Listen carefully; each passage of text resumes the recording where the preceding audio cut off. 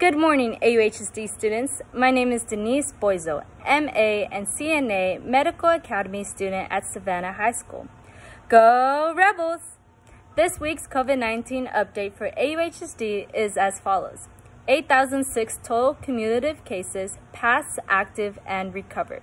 79 new cases, and 17.2 Anaheim percentage of all Orange County cases, which shows a decline from last week.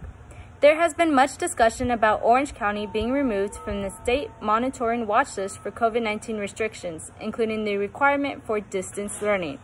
Although the aggregate totals many units into one like summarized data for the county may meet requirements for threshold removal from the list, case rates at less than 100 per 100,000 people and testing positive less than 8% for three consecutive days, the, the disaggregated totals rates which are smaller components of data, tell another story. In central Orange County, including Anaheim and Santa Ana, the case rates are close to 200 per 100,000 people, while the test positive rates are above 14%. Finally, as I'm sure you've heard over a million times, make sure to follow the safety health guidelines to protect yourself during this time. Continue to wear your mask. Make sure your mask covers your mouth and your nose.